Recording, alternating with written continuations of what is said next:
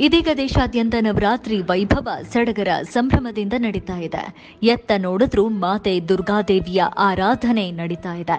ಇದೀಗ ಎಂಟನೇ ದಿನವಾದ ನವರಾತ್ರಿ ಹಬ್ಬವು ವಾರಣಾಸಿಯಲ್ಲಿ ಜೋರಾಗಿ ನಡೀತಾ ಇತ್ತು. ಮಾತೆ ದುರ್ಗಾದೇವಿಯ ಅವತಾರವಾದ ಮಹಾಗೌರಿ ವ್ರತವನ್ನ ಎಲ್ಲ ಸ್ತ್ರೀಯರು ಭಕ್ತಿ ಭಾವದಿಂದ ನೆರವೇರಿಸಿದ್ದಾರೆ.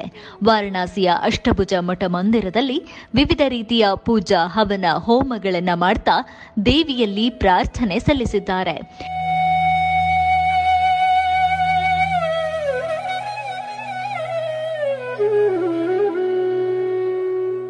ಈ ಮೂಲಕ ಭಕ್ತರು ದುರ್ಗಾ ದೇವಿಯನ್ನ ಆರಾಧಿಸುತ್ತಿದ್ದಾರೆ.